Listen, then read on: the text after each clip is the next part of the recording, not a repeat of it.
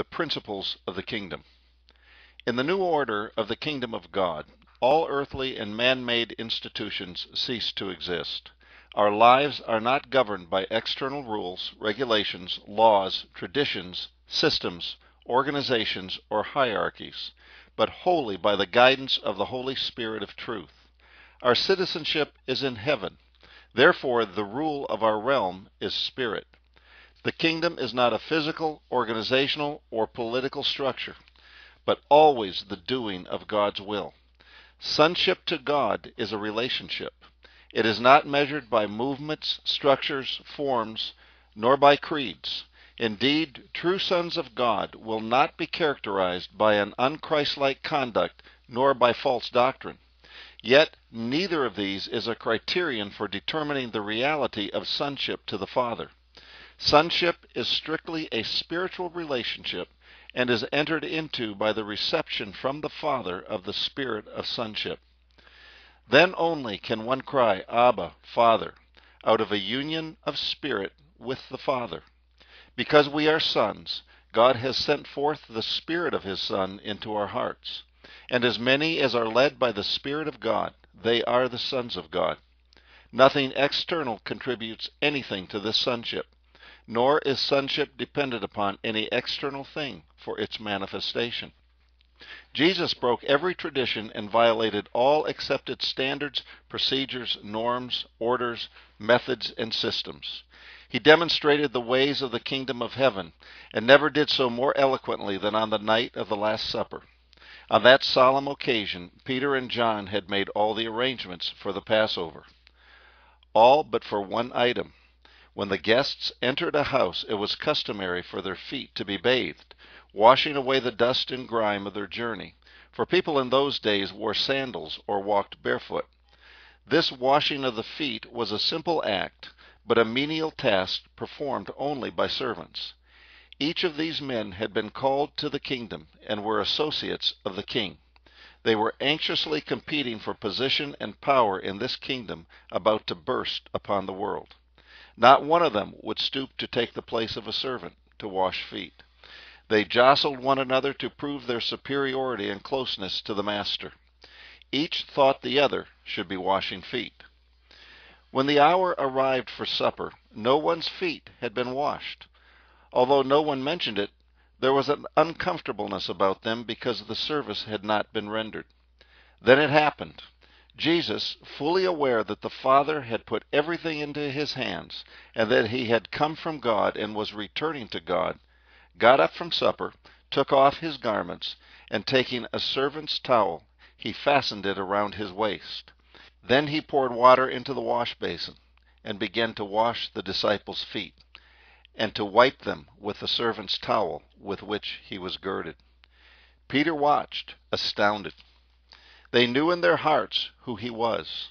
They had confessed him as the Messiah, the Christ, the Son of the living God. He was the deliverer, prophesied by all the holy prophets since the world began.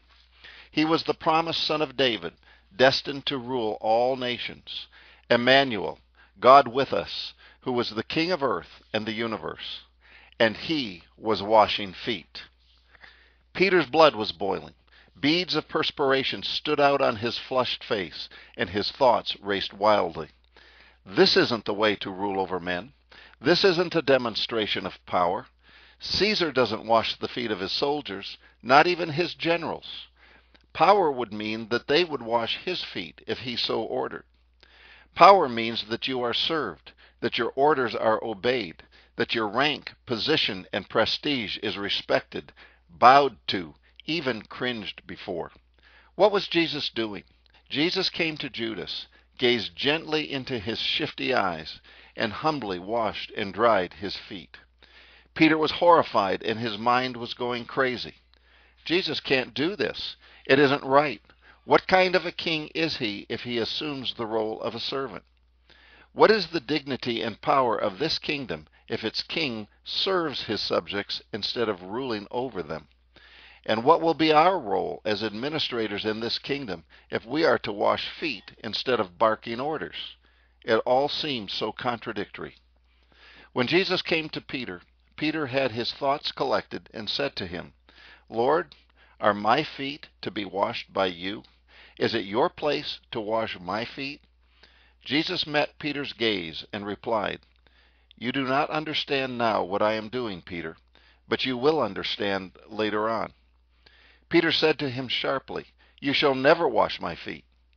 Jesus calmly answered him, Unless I wash you, you have no part with me, no share in my kingdom. Shocked, Peter said to Jesus, If that's the case, then Lord, wash not only my feet, but my hands and my head too. Jesus said, Anyone who has had a bath needs not to be washed except his feet, but is clean all over except for where he has walked through the dust.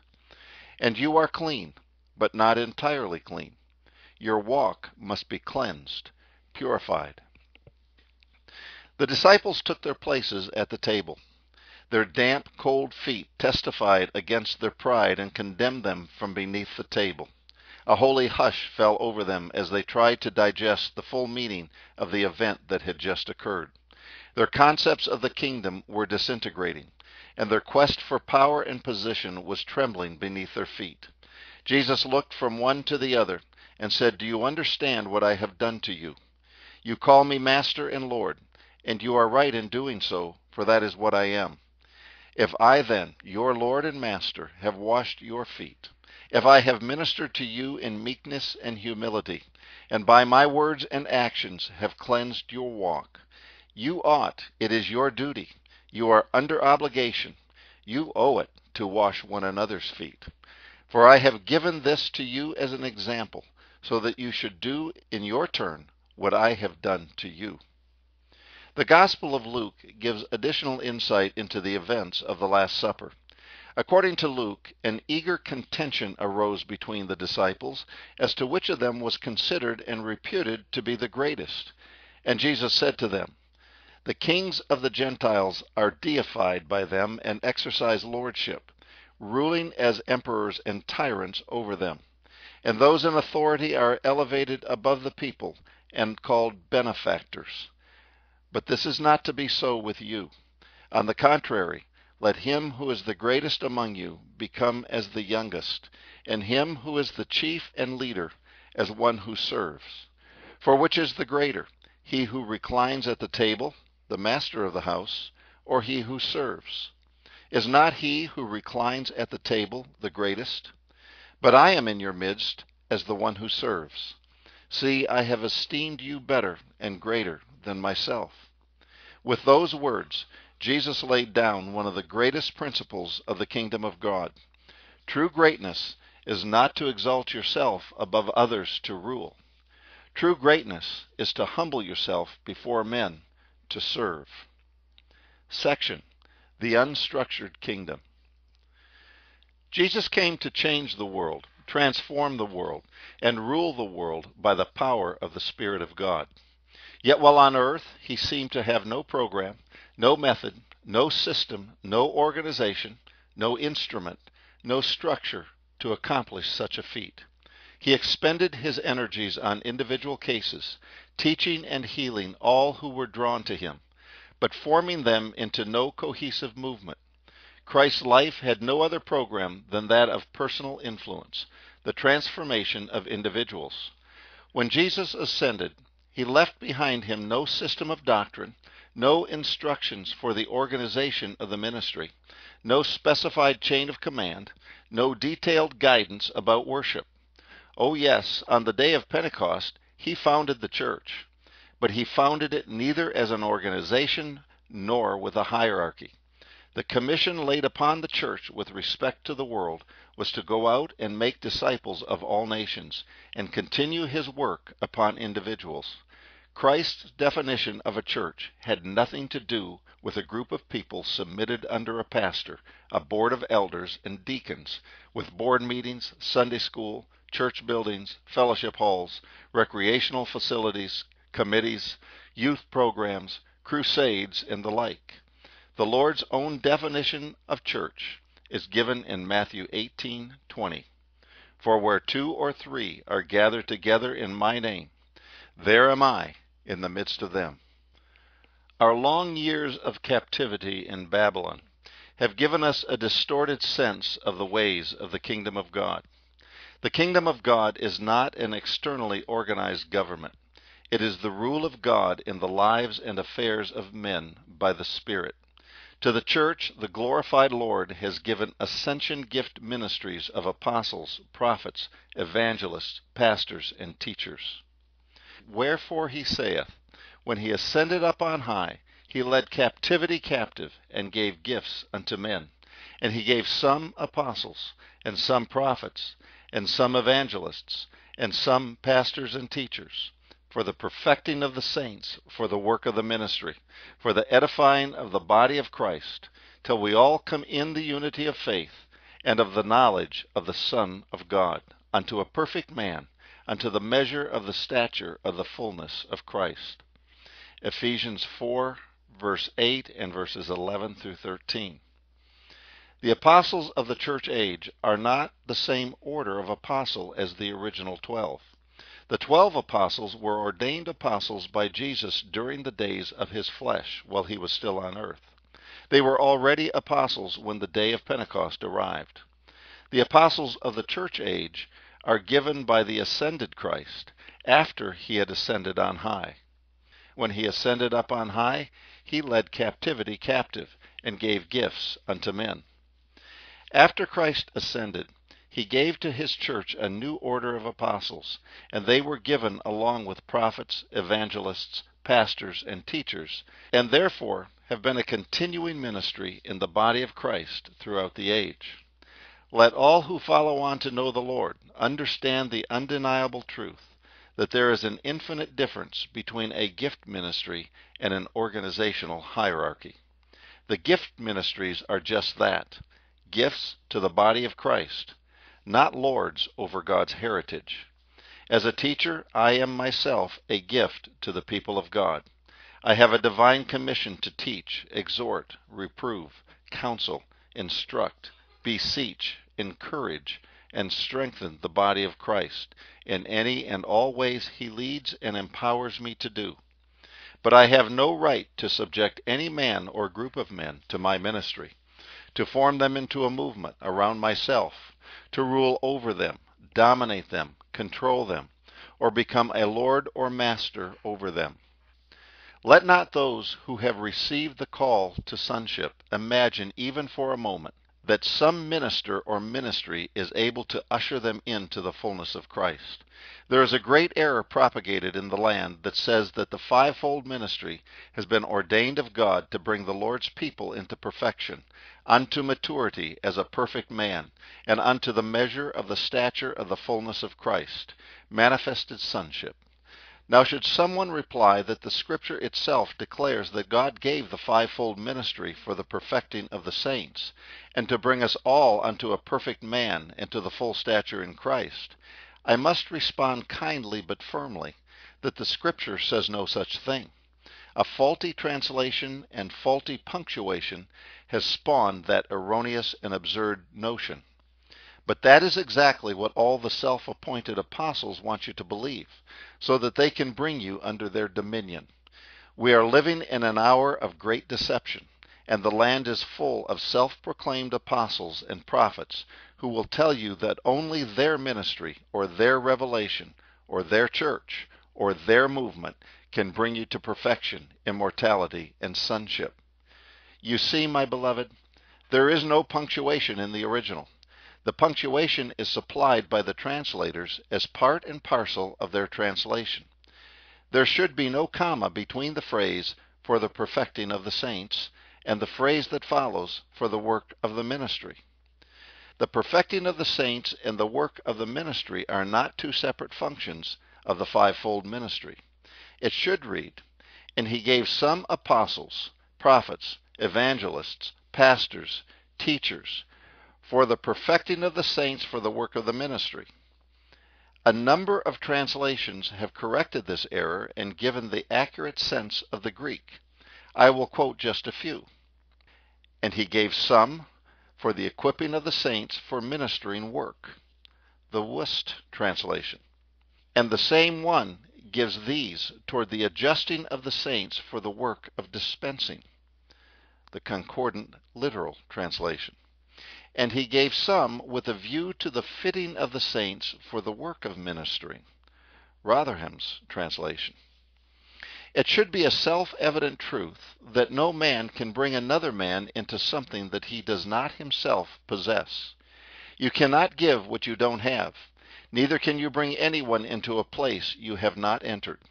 The fivefold ministry cannot bring God's elect saints into something they have not themselves experienced. It is impossible for the fivefold ministry to perfect the saints unless the fivefold ministry itself is perfect. It would be an effort in futility for any ministry to try and make me a perfect man in Christ, except that ministry should have already attained perfection. How could any apostle or prophet bring saints unto the measure of the stature of the fullness of the Christ, except that apostle or prophet has already reached that position of absolute fullness in Christ? I cannot lead men to Christ if I myself have not experienced Christ. Preachers who have not been filled with the Holy Spirit do not go around laying hands on people imparting the gift of the Holy Ghost. A teacher cannot successfully teach science or mathematics unless he is proficient in those subjects. One cannot minister or impart what he does not possess. If an apostle or prophet is to bring you into immortality, he must first become immortal himself. No sick, aging, or corruptible servant of God can minister incorruptible life to your body. If a ministry can bring you into fullness, that ministry must first be filled with fullness. Can we not see by this that only one who is perfect can bring men to perfection, and only a manifested Son of God is able to bring men into sonship? Thank God there is one.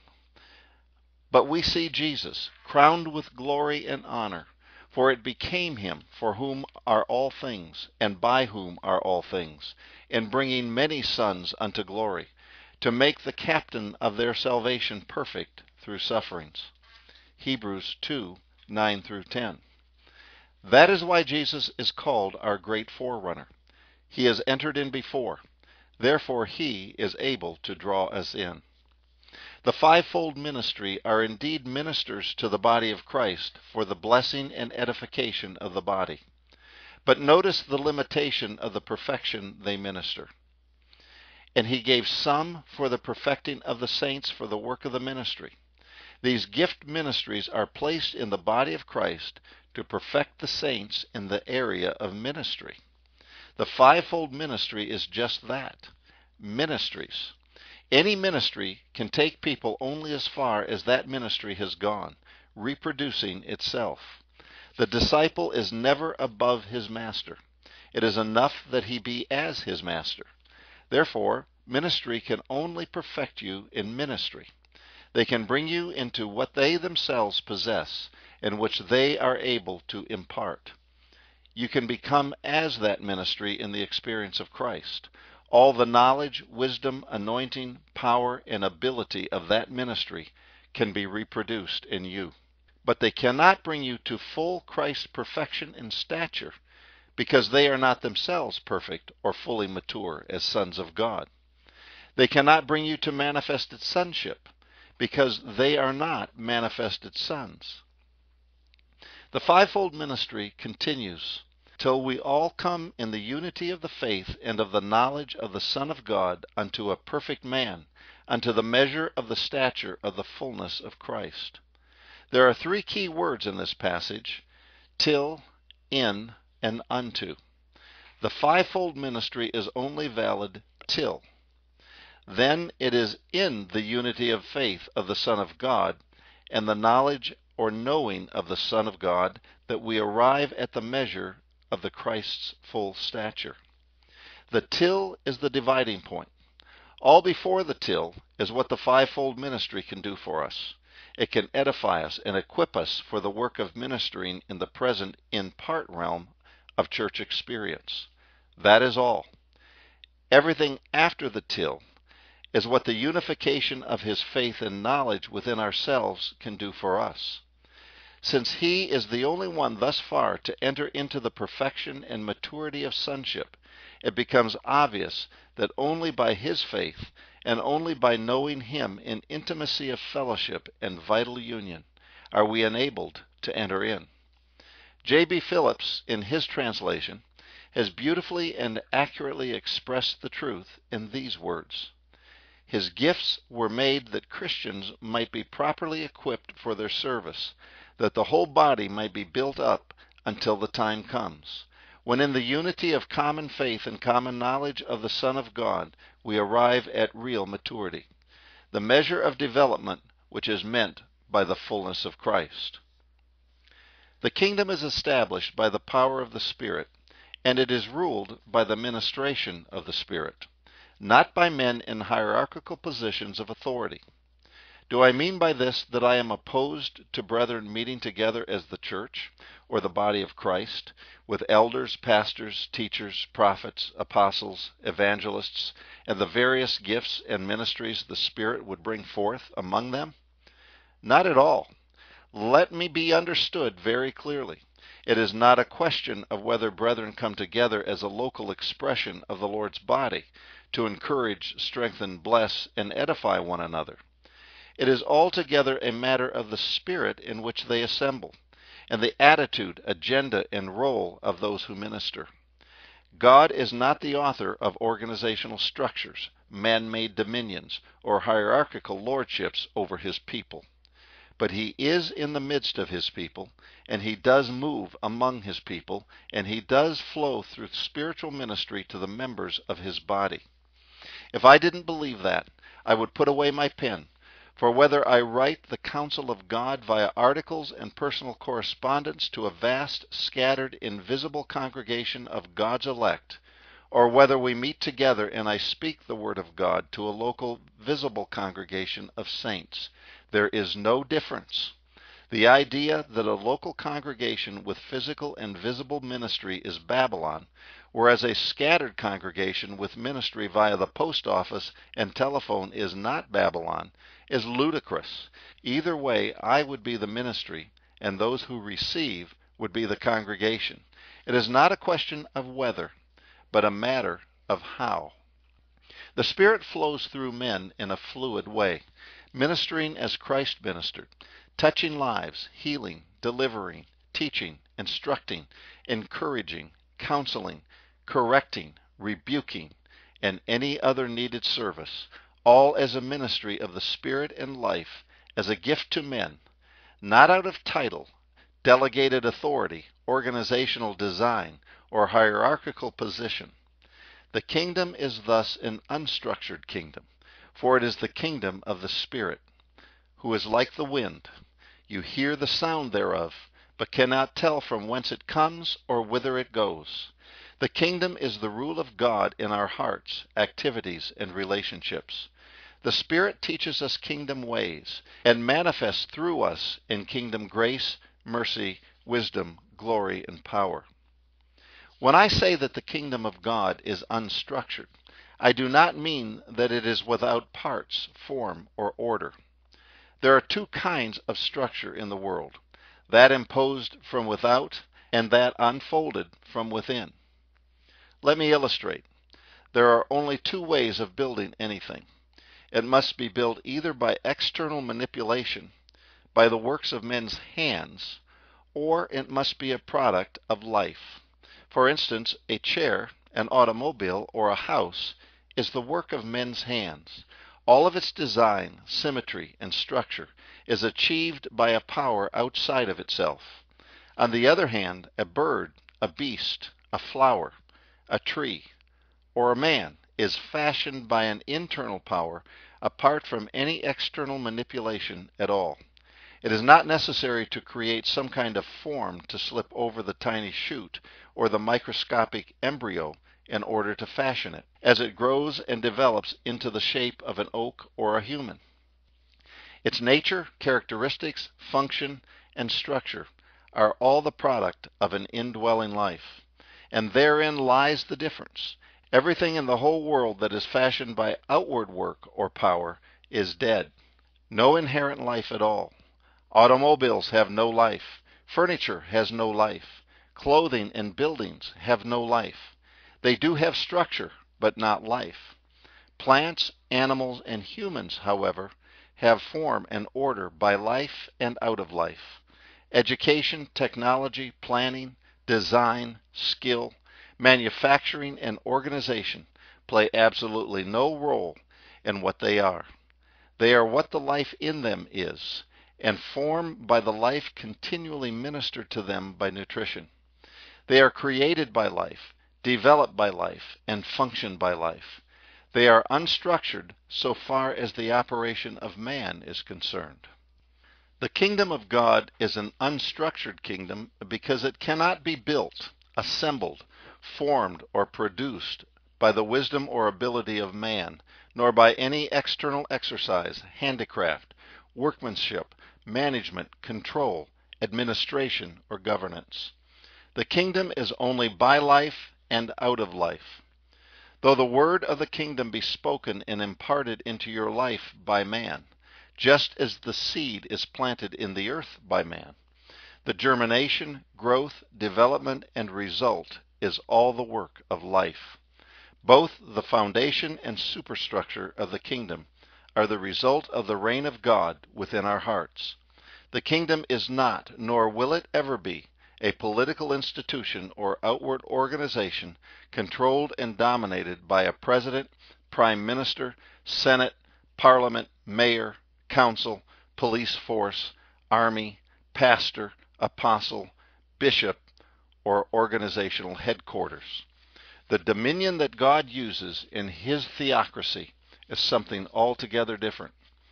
The kingdom is God's authority by the Spirit versus Babylon's authority by system and hierarchy. The kingdom is God's government by the flow of his life versus the governments of the world by law and force. When men speak, act, and minister out of the anointing, they express and manifest the wisdom, power, and glory of the kingdom of God. That is not structure, that is life. If you were Jesus and realized that you were going to leave the earth and return into the heavens, surely you would have made arrangements with those who were going to carry on your work and establish your church.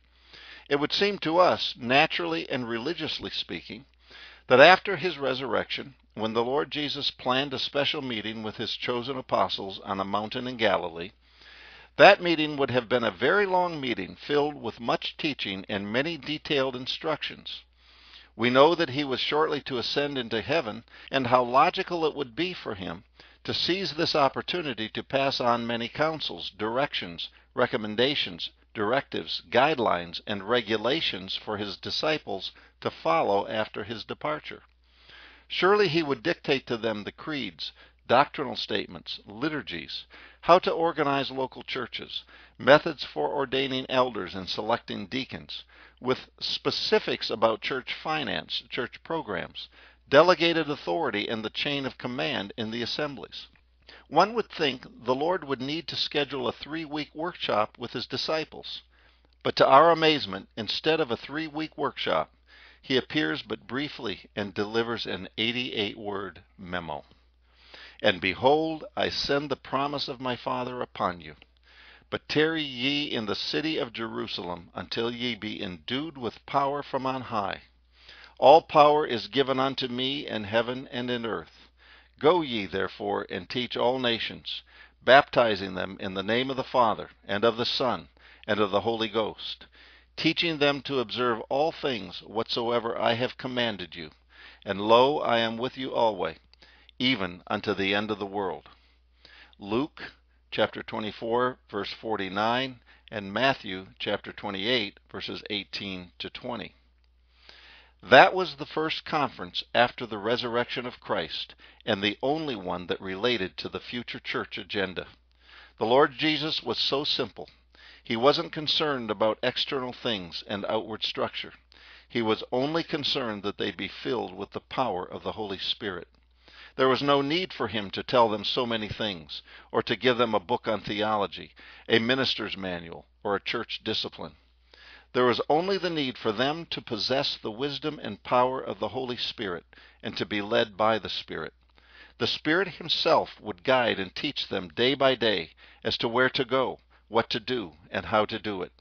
They would not need to write a book about it to guide those who would come after them.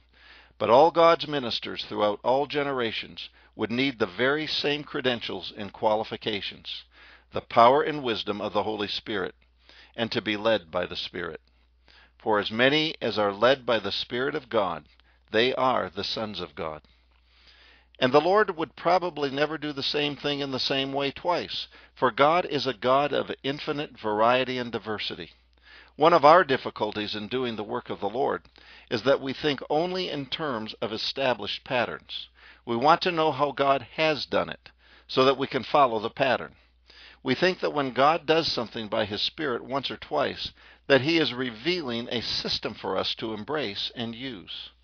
But it is impossible to limit God to a fixed pattern, to any method He has used in the past, or anything He has done before.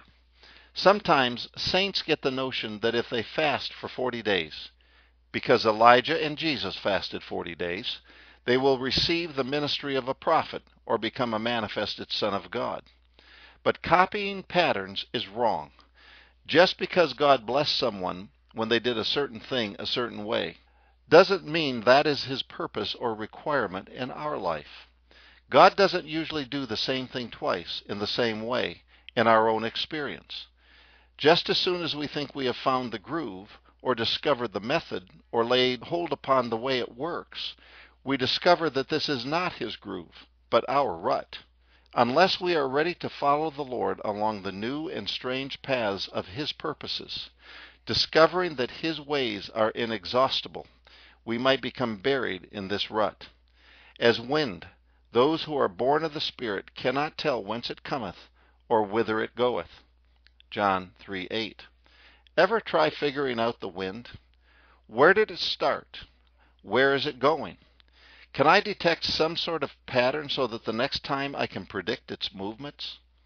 There are no precise patterns for those who are born of God. There are no precedents for the ongoing ministry of the Spirit of God. Our God is spontaneously creative. He is not systematically creative. What I mean is that God does not employ a program in his purpose. God is a God of spontaneity.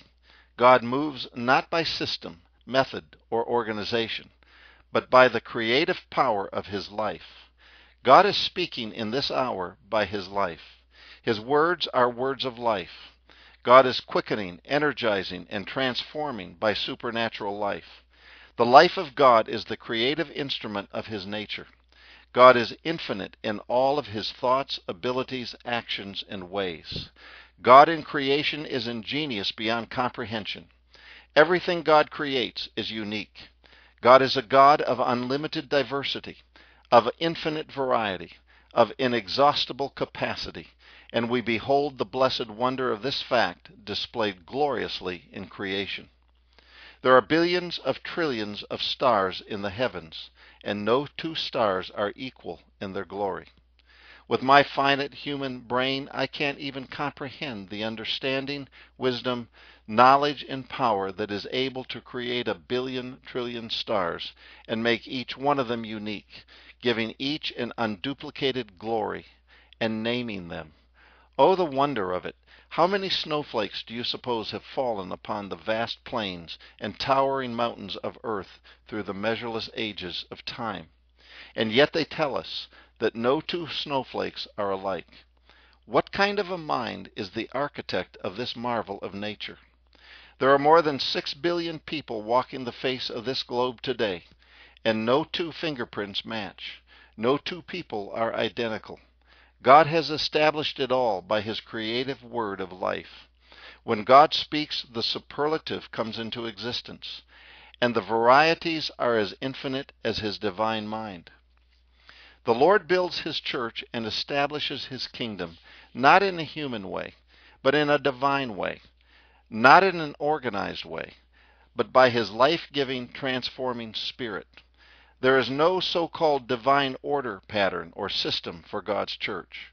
What he does in one place or at one time will be totally different from what he does in another place or at another time, if it is by his Spirit. The way he deals with you may not be the same way he deals with me. What he requires of me in specific acts of obedience may not be the same thing that he requires of you. The way the Spirit moves and directs his people to worship, minister, and the structure he brings forth in their midst will not be carbon copies of what he did in Jerusalem, Ephesus, Colossae, Corinth, or in the body of Christ today in the next city, state, or nation. Jesus never made any arrangements or left any schedule. He left a bunch of men in charge who only weeks before had abandoned him, who cursed and swore that they didn't even know him, and who fled in terror into hiding. What a faithless, unpredictable, undependable group. From our natural viewpoint, what he did was a mess. Everything occurred as a kind of accident. Jesus did everything without any revealed plan or any appointments or any prearrangements or apparent method. When he wanted to speak to his disciples after his resurrection, he just came. He came in a way that was absolutely different from the religious systems of today. Even during his three and a half years of sonship ministry, he never called a formal meeting. There never was one.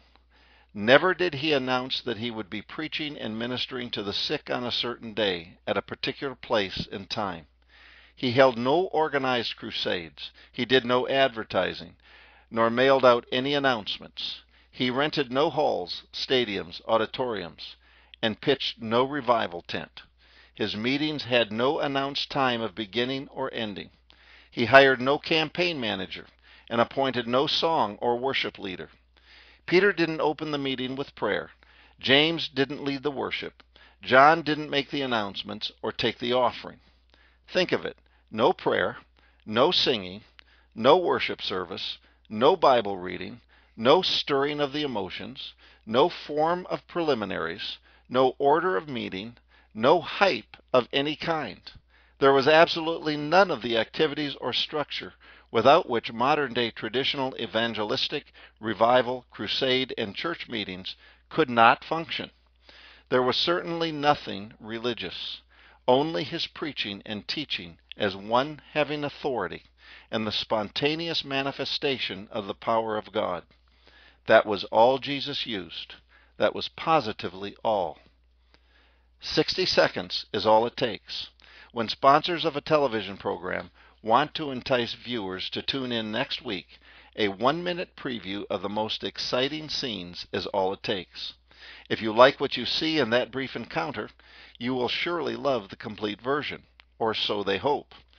In a similar way, the Lord Jesus provided his disciples and the nation of Israel with a brief yet powerful portrayal of the realm of sonship.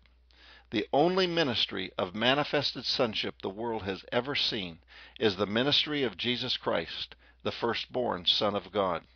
As we consider and meditate upon his sonship ministry, I believe the Lord is revealing something to us which is absolutely different from today's Christianity. The ministry of the sons of God must be absolutely outside of religion.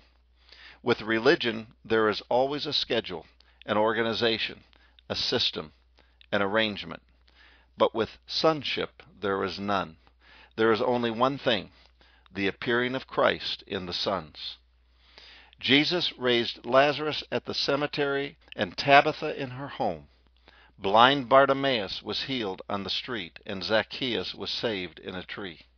A cripple was healed in the synagogue, and another at the pool of Bethesda. Jesus turned water into wine at a wedding and fed the multitude in a desert place.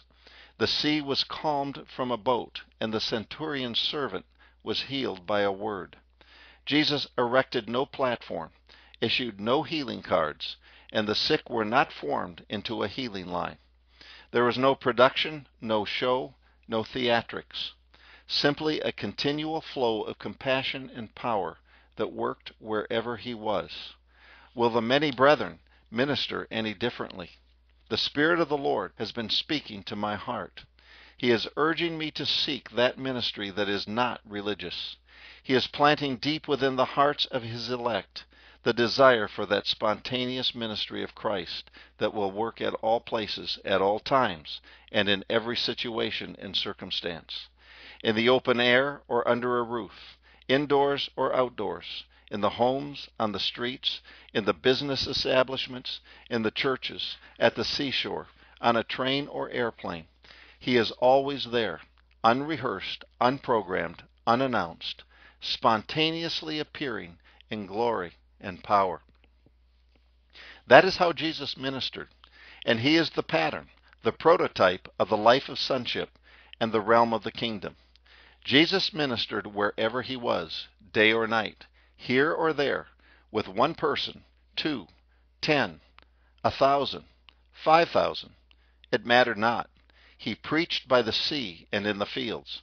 He ministered on the streets, in the homes, in the desert, in the temple, in the synagogues, in the mountain, by a well. This is not the order of the modern day church systems, but this is how the kingdom of God will be established on earth. The sons of God will not function within the framework of our old kind of Christian service. We must confess that is pure man made tradition. We didn't learn it from Jesus. It is easy to get out of religion, to come out of Babylon, but far more difficult to get the religion out of us. We are called to be the sons of God, led by the Spirit, to speak the words of God and do the works of the Father spontaneously at all times and in every place, not doing anything religious, not doing anything of tradition, organization, forms, rituals, ceremonies, showmanship, or churchiness. The sons of God are the display of the infinitely creative, omnipotent power of His life. Recently, a brother shared with me a little article he wrote in which he gave the following example. A gentleman was on a plane that was in serious trouble. Someone on board the plane suggested that all the passengers on board the plane bow their heads in prayer. One man didn't. Others asked why. He said, I don't believe in prayer. They said, Well, do something religious. So he took up a collection. The firstborn Son of God opposed religion and all that went with it. He broke the Sabbath. He companied with harlots and ate with sinners, and he sat at meat with unwashed hands. He acted so clearly unreligious before his disciples, showing them by example his attitude toward religion. They all saw it. By example, he taught them the ways of the unstructured kingdom. And when, after the day of Pentecost, the apostles went out into all the world, preaching the name of Jesus and the kingdom of God to every creature, they did it exactly the same way.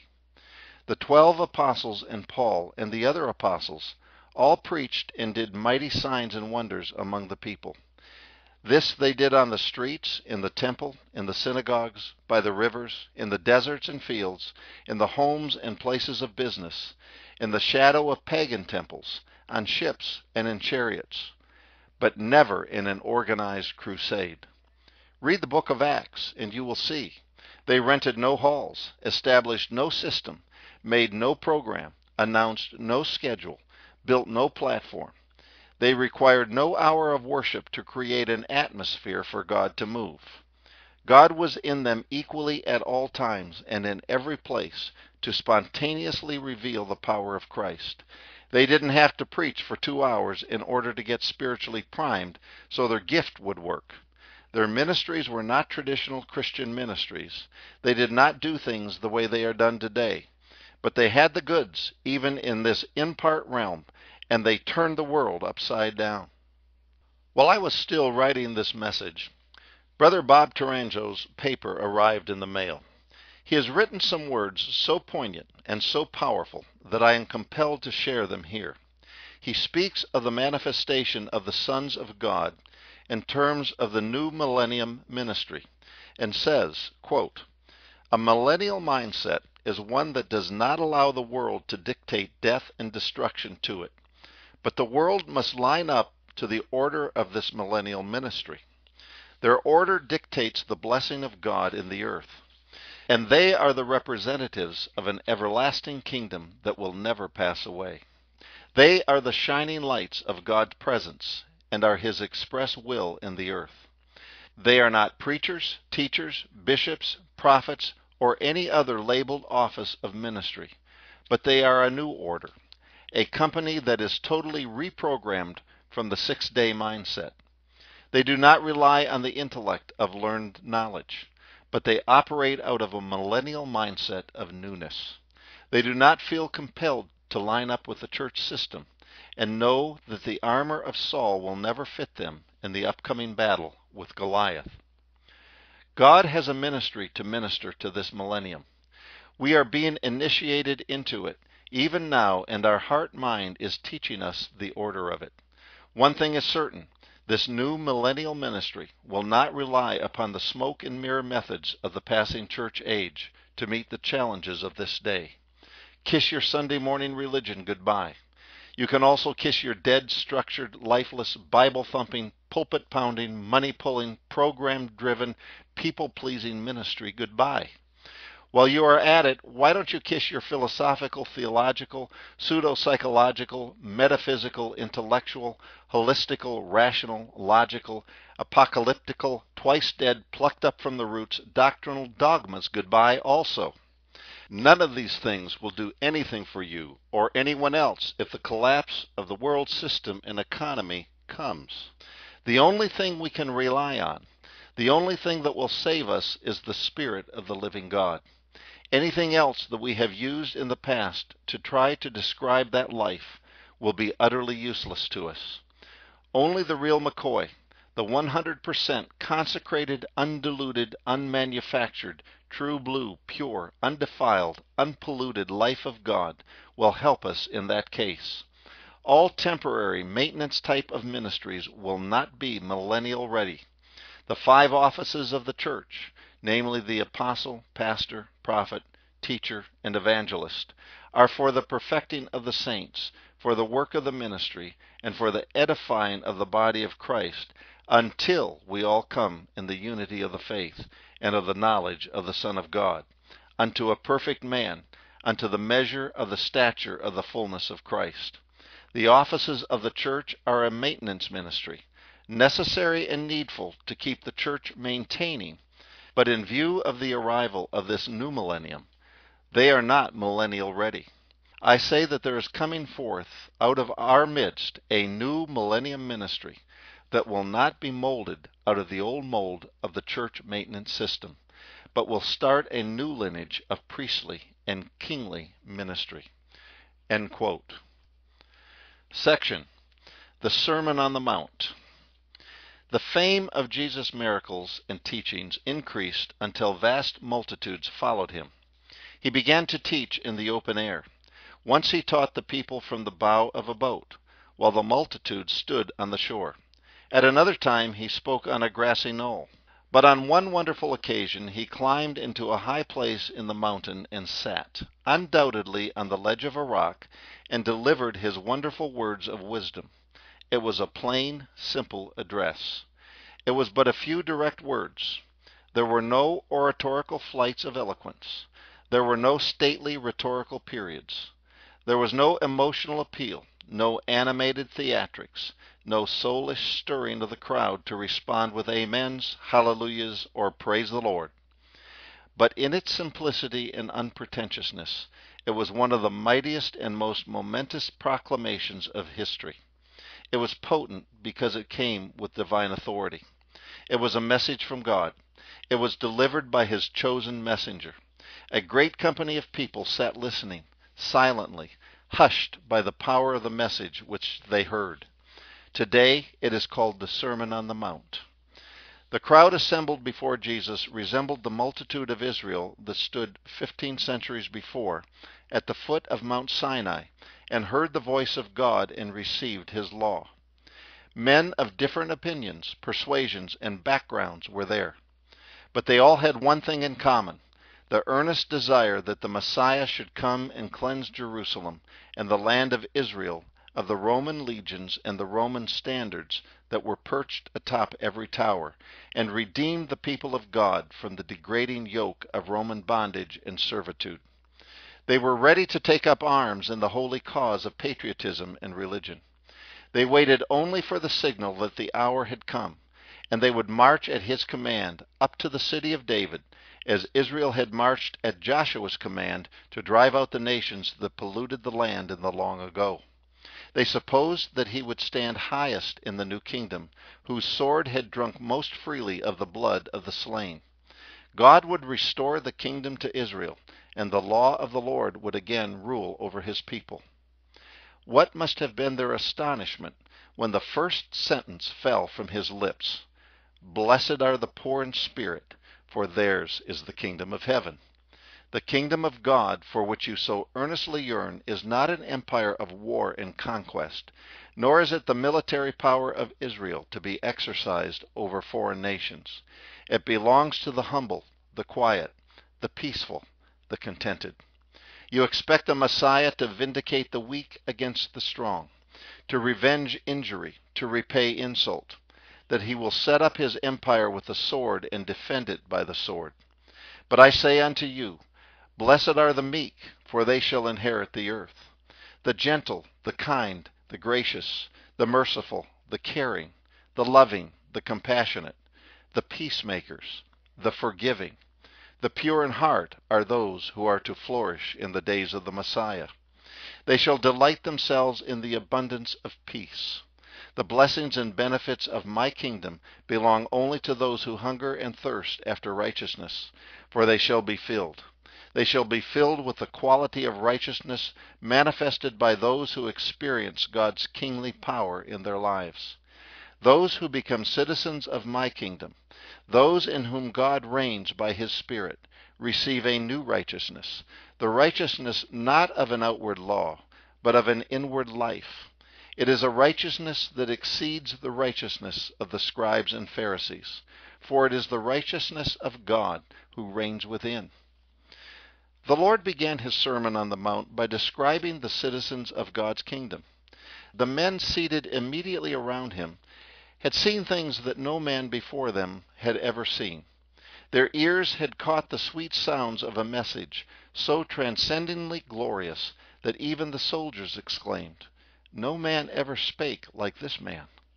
And now their ears heard with joy his manifold blessings pronounced upon those who had the spirit of the kingdom of God in their hearts. Blessed are the poor in spirit. Blessed are they that mourn. Blessed are the meek, for they shall inherit the earth.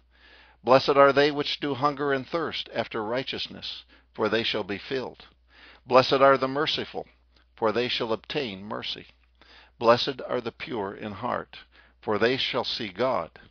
Blessed are the peacemakers, for they shall be called the sons of God. Blessed are they that are persecuted for righteousness' sake. Never could a man devise such a kingdom as this. This is how the citizens of the kingdom live.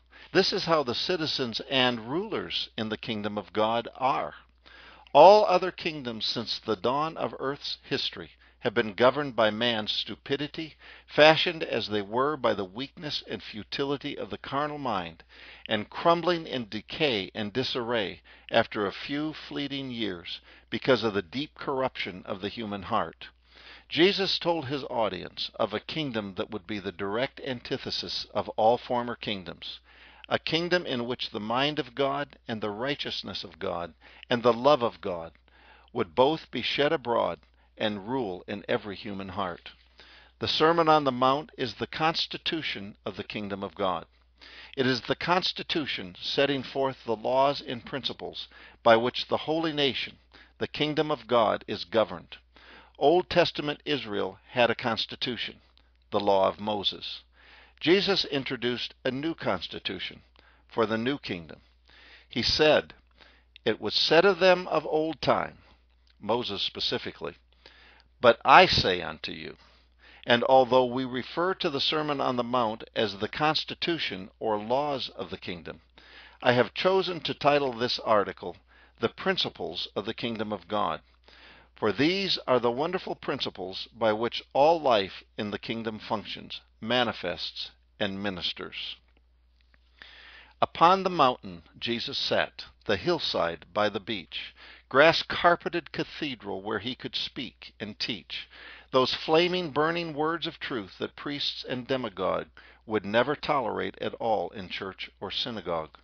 His own cathedral he had built, had built it by his word, and neath its vaulted panoply the glory of the Lord would pale the light of noonday sun. For what he said that day would blaze and shine eternally when worlds had burned away. Back to their tasks the crowds had gone, and he was left alone, save for a little company that he could call his own. What use was there for restless crowds? The worldly, giddy throng might listen to the music, but never hear the song. Blessed are ye, the tones rang out, repeated o'er and o'er.